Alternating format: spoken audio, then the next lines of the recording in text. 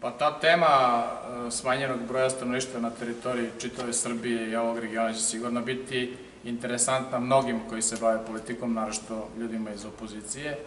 A ja zaista pozivam sve da ako želimo dobro ovom narodu i ovom gradu, kažemo šta bi to mogli da uradimo, svi, bez obzira da li smo na vlasti ili opoziciji, da nama svima bude bolje. Predložite nešto dobro, ljudi.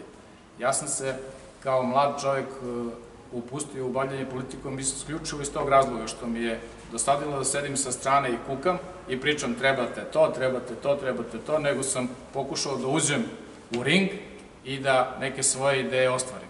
Tako poručujem i drugim mladim ljudima. Ako želite da nešto promenite, ili uđite u ring pa pokušajte da to uradite, ili dajte neke konkretne predloge, zaista je najlakše, a najmanje produktivno da sedimo ispred televizora ili ispred kompjutera ili sada ispred telefona na društvenim mrežama i kritikujemo, kako kažu mladi ljudi, da budemo hejteri. To je najlakše, ali najmanje produktivno.